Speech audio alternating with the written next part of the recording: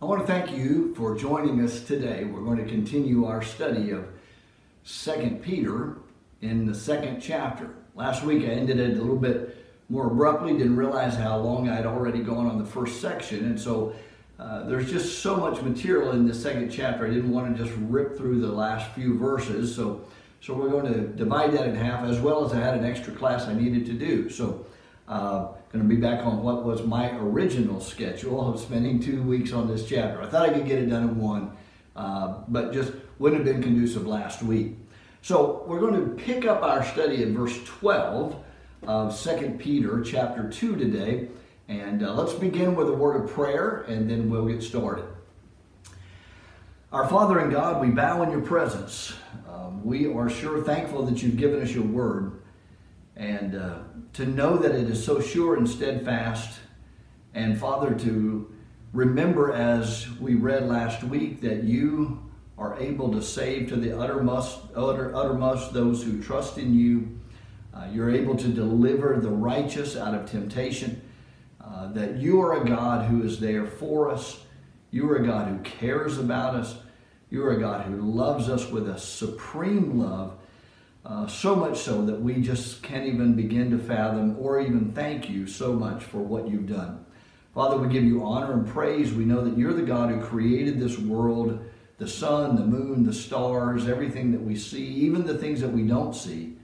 And to know that you're the creator, you are not just that, but you're the sustainer. You continue to keep it going and you provide because you are our Savior. Thank you for your word. Please open our eyes today to see the wondrous things you have for us in store as we read it today. In Jesus' name, and amen. All right, so last week we started out by looking in chapter 2, which was a complete contrast to the end of chapter 1. And we see the first word in chapter 2 is but. Now, in contrast to what he's just said, and remember, the end of chapter 1 is the prophetic word that we have that's sure and steadfast. The word that came not by the will of man, not by the purpose of man, not by or through man, but holy prophets of God were, were moved to write the things that God has told us to write. No scripture ever came by the will of man, it came from God. So then the warning in chapter 2 is but false teachers have gone out and they have corrupted the word. That they, through their own secret ways, their deceptive words, have led to destructive heresies, causing divisions in the church. And so the warning is over and over again listen to the word of God, but compare that to anything that a, a teacher would say. We need to know that today too, not just in Peter's day. If anyone teaches something, we need to first of all open it and lay it alongside of the Word of God. How do they compare?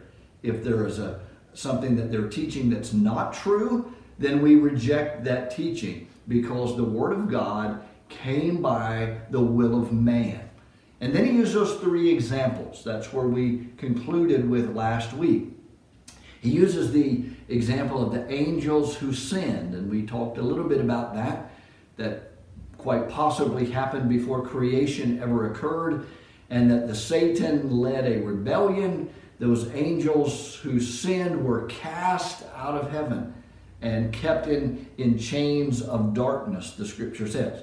The second example that he used is of the days of Noah and all those unrepentant ones that Noah was preaching to that they wouldn't listen. And that Noah was able to save his self, himself, his wife, his three sons, and their three wives, a total of eight people.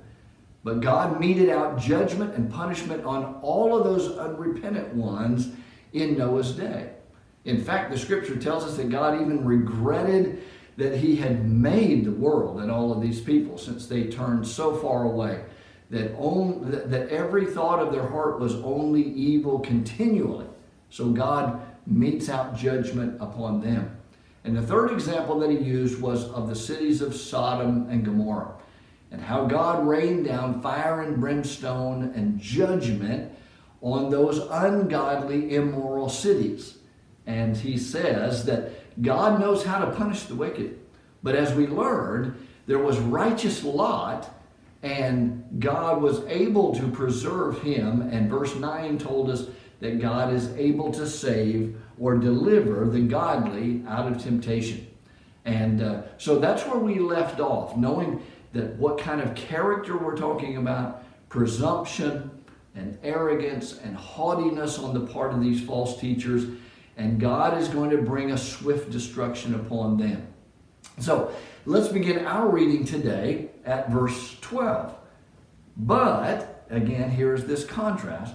But these, that is, these false teachers, like natural brute beasts, made to be caught and destroyed, speak evil of the things they do not understand, and will utterly perish in their own corruption, and will receive the wages of unrighteousness as those who count it pleasure to carouse in the daytime. Now, he's going to begin to explain who they are. They are spots and blemishes, carousing in their own deceptions while they feast with you. They have eyes, verse 14, full of adultery that cannot cease from sin, enticing unstable souls. They have a heart trained in covetous practices, and they are accursed children. Verse 15, they have forsaken the right way and gone astray, following the way of Balaam, the son of Beor, who loved the wages of unrighteousness, but he was rebuked for his iniquity. A dumb donkey speaking with a man's voice restrained the madness of the prophet. These are wells without water, clouds carried by a tempest, for whom is reserved the blackness of darkness forever. Wow. Wow look at the characteristics of these false teachers. It's not only that their teaching is false, the things that they're saying are false, but their life is false. You see, they're living a lie. The, these false teachers, they're not just somebody who is mistaken about something, that they got a detail wrong, that they're, that they're just mixed up on something. It's not that they just haven't studied something out well enough. These false teachers, they are false. Their lifestyle is false. The, the choices that they make, the way they live their life, they are false teachers. They're, they're, they're themselves, they're false beyond even teaching false things. So let's break it down like Peter does and see if we can't understand a little bit more about who they are. They speak things that they do not understand, first of all. that is, they're, they're arrogant, they're haughty, they're self righteous. They, they put on an air about them and they talk about things they, they don't even understand. They don't even know what they're talking about. But oh, how they sound that they that they speak in such a way that they, they they teach things in such a way of their arrogance and their haughtiness shows that they don't even know what they're talking about. The second characteristic, he says, they are spots and blemishes carousing in their own deceptions. That is, they're liars, they are deceivers, they are tricking or trying to deceive other people by the way they're living. They're like spots and blemishes. Luke, uh, Jude uses the, the term they're like rocks in your love feast. So, so I want you to imagine that, that you go to a, a potluck, you go to somebody's home and they, they serve you a meal and it just looks wonderful and you, you, you take a spoonful or a forkful and you bite down and there's a rock in there. And he says that's what they are. See, they're deceptive. You didn't see that rock. You didn't know it was there. They're spots and blemishes that they're carousing in their own deceptions. They're, they're just living this wild life in their own lies and believing their own deceit and believing their own lies, just going along living that kind of lifestyle. Thirdly, he says they have eyes full of adultery that cannot cease from sin. That is, they're immoral in their conduct. They, they just continually live this decadent, depraved lifestyle. They're just, they can't see, they can't stop sinning. Their eyes are full of adultery. Everything that they see, they take in and they want, even though it's not theirs, it doesn't belong to them. Their eyes are full of it. Verse, uh, the fourth thing, they entice unstable souls. You see, they're unscrupulous. Um, they come and they prey upon the weak or the feeble. They take advantage of those who, who maybe don't have all of their faculties or they, they haven't figured something out completely. They, they prey upon the weak and they try to isolate them because they are unscrupulous in the way that they do this. They are uh, that they prey on the uninformed in that regard. Isn't that a sad picture? It's like what we hear today when you hear about elder abuse. When you hear about older people that somebody has taken advantage of. You know, there, there are elder attorneys who, who just work with the, the elderly because of the unscrupulous ways of people taking advantage, maybe somebody because they're more feeble at this point, maybe they're uninformed, Maybe it is that, that they just that they don't have all of their, their faculties about them, and somebody takes advantage of them and drains their bank account or whatever the case is. It's just horrible to hear. That's what these false teachers are. They're, they're false people. They're unscrupulous in what they're doing. They, they entice unstable souls and take advantage of them. The fifth thing that he says is they have a heart that is trained in covetous practices. Now that's really uh, picturesque.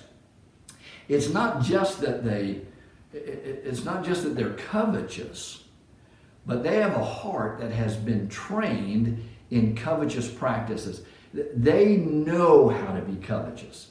They know how to take advantage of other people. They are so greedy in their ways, they're so eager for more that they'll take advantage of anyone at whatever cost.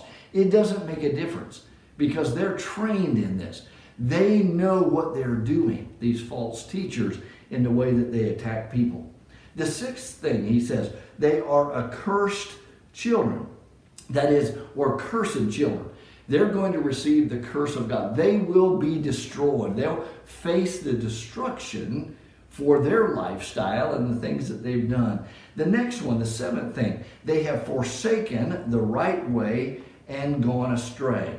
And he uses the example of Balaam.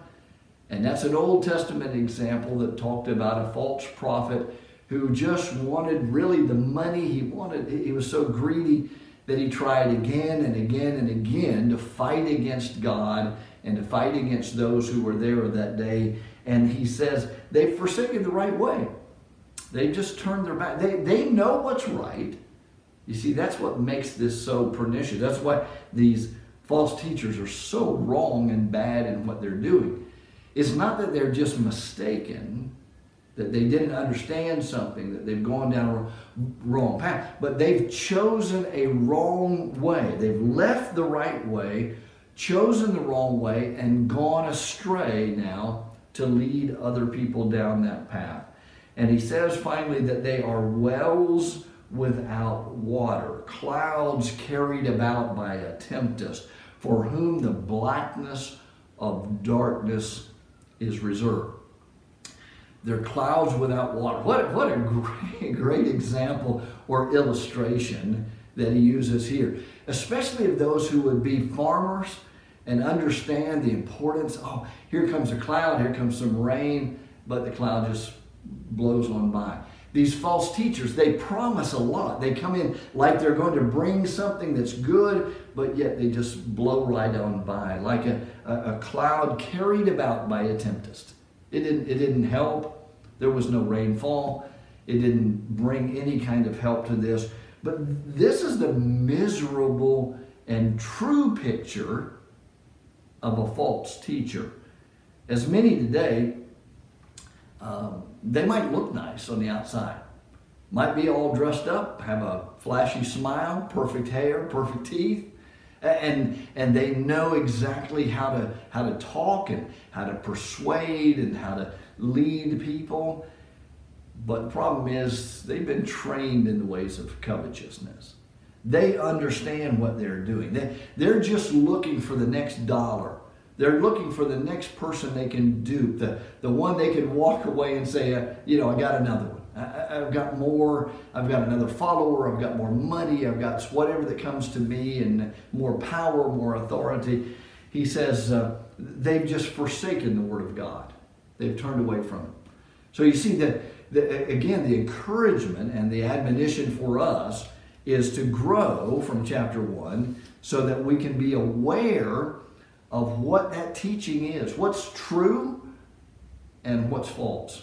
Now, if you have a group that you're sitting with, I want you to stop the video for just a minute or two. I want you to talk about, not, not by name, you don't need to isolate people, uh, but I want you to talk about those that maybe you've seen who have been false teachers like this, of, of how that occurred, of how sad it is and what you've seen maybe occur in the lives of some people. Take a couple of minutes to think about that. Talk about it if there's a group of you together, and then we'll come back and we will finish up the second chapter in just a few minutes.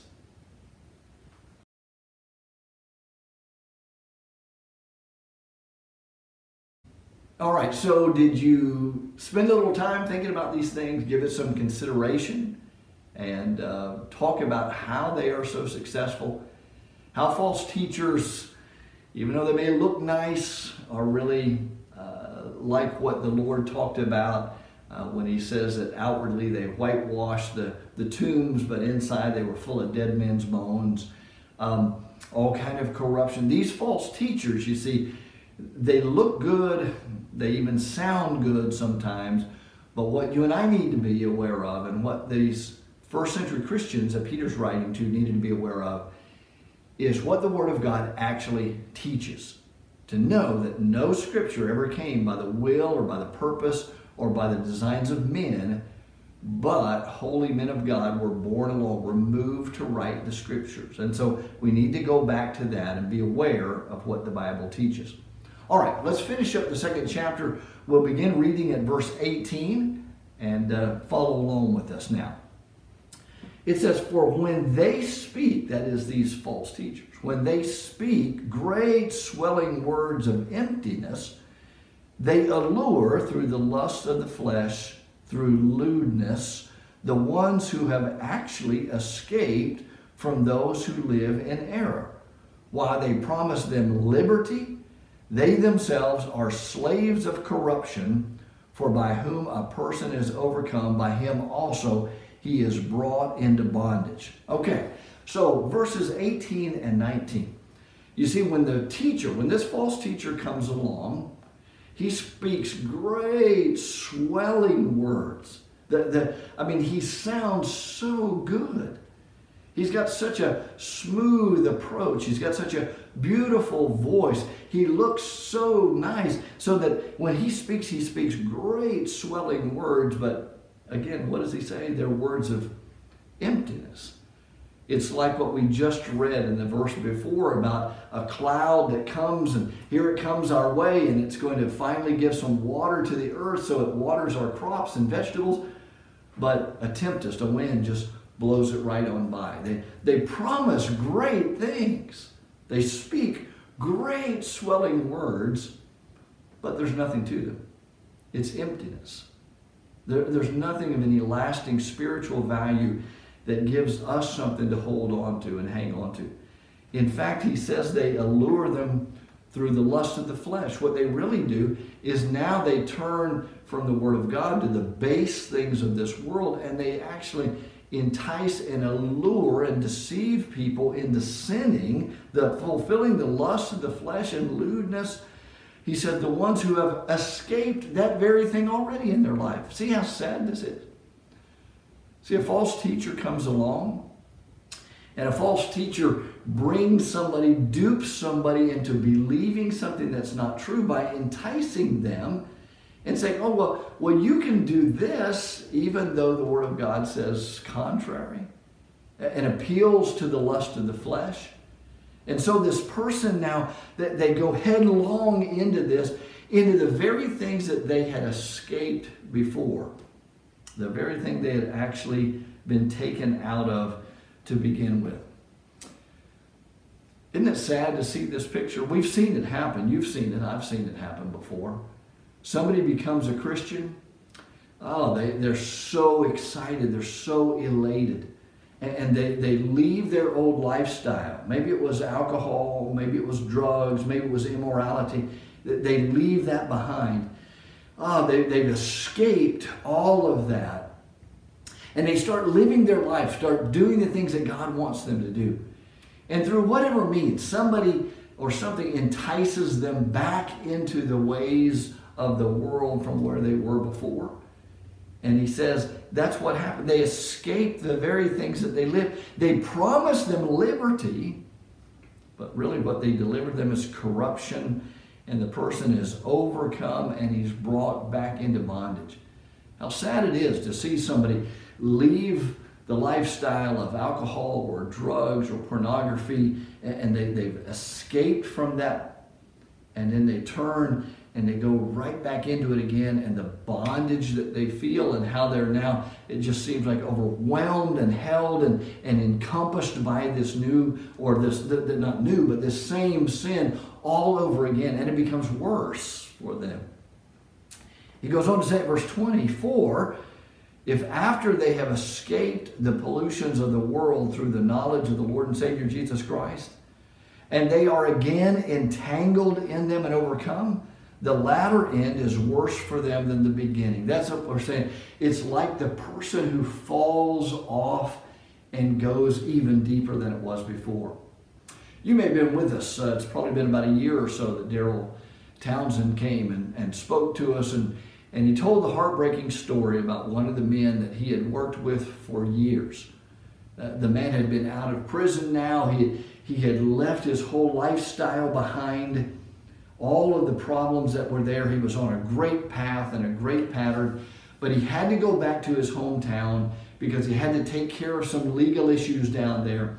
He goes and he just happened to see somebody at the bank where he was a guy that he used to hang with.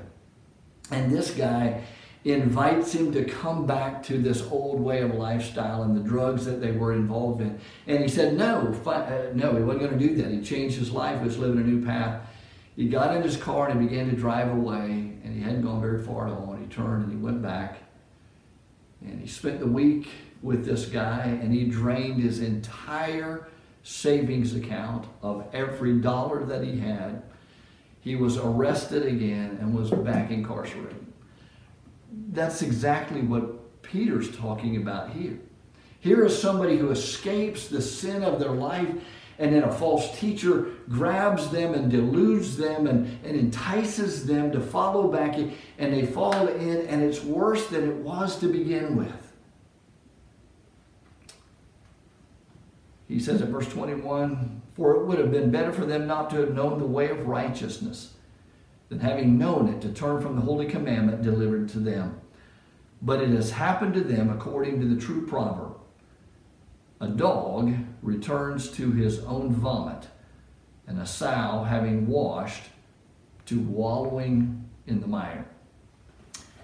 Sadly, the picture has happened over and over again. A false teacher comes in deludes somebody, entices somebody, tricks them, deceives them into believing this is the right way, this is a good way. You don't have to worry about what God has said. You can live the life the way you want to live.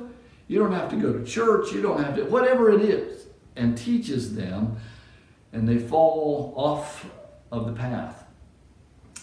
And it's the ugly picture, the disgusting picture of a dog returning to eat his own vomit and a sow, a pig that's washed all up for show and runs right back into the mud and muck in front of them.